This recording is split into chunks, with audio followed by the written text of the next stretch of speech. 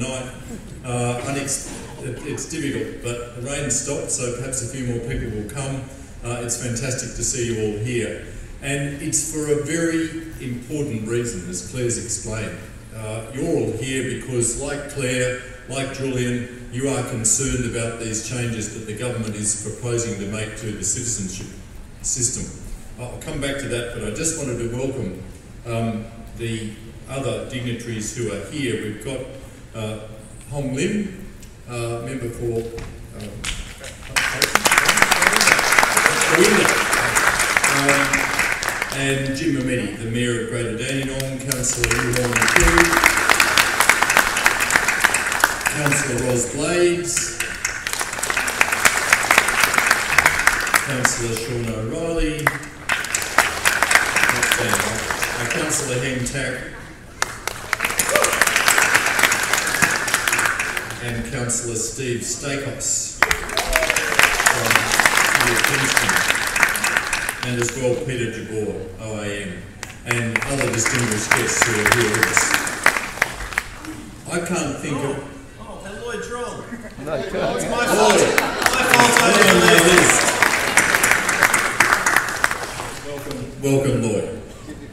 I wanted to thank the City of Greater Dandenong for making the Springvale City Hall available for this gathering here tonight. Uh, it's the first event uh, to be held in the renovated City Hall. It's looking fantastic. Well done to the City of Greater Dandenong uh, for the work that's been done. Uh, but it's not just great to be here using the hall for the first time. Uh, I can't think of a better place anywhere in my electorate, anywhere in Clare's electorate, anywhere in Julian's electorate to be holding a forum about citizenship than the Springvale City Hall because in this hall, tens of thousands of Australians, if not hundreds of thousands, became citizens. I know I've attended citizens, I can see people pointing to themselves because they became citizens. There are people here with us who can remember becoming citizens in this hall. All of us, Julian, Clare, and I, have been to countless citizenship ceremonies here, welcoming new citizens, welcoming mem new members of our community who want to become Australian citizens. And the two changes, the two most there are other changes the government's proposing, but the two main changes the government is proposing here are wrong. It is wrong to suggest that you need university level English before you can become an Australian citizen. And it is wrong to suggest that you should have to wait another four years on top of the one year of permanent residency that's presently required before you can become a citizen. And I'll tell you why it's wrong.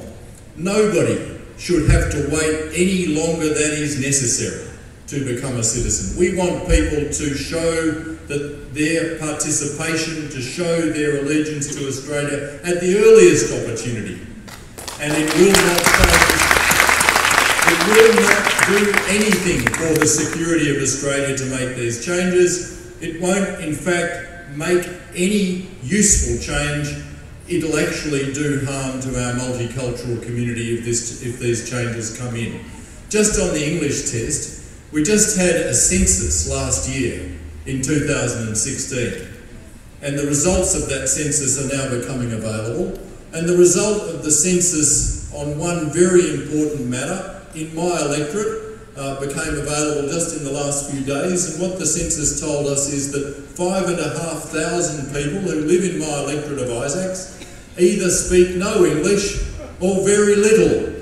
I want every one of those people to become an Australian citizen, and I certainly do not want, if they are not already, because many of them, people with poor English, uh, will be people who are already citizens. It is simply wrong to suggest that they would need university level English to become citizens. And the other change, the change of lengthening by four years the time it will take to become a citizen, does nothing.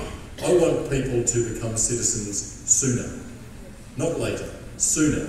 Because the sooner you become an Australian citizen, and this has been a position that has been taken by all Australian governments since we invented citizenship in 1949, including previous Liberal governments, have seen it as important to become citizens as soon as possible.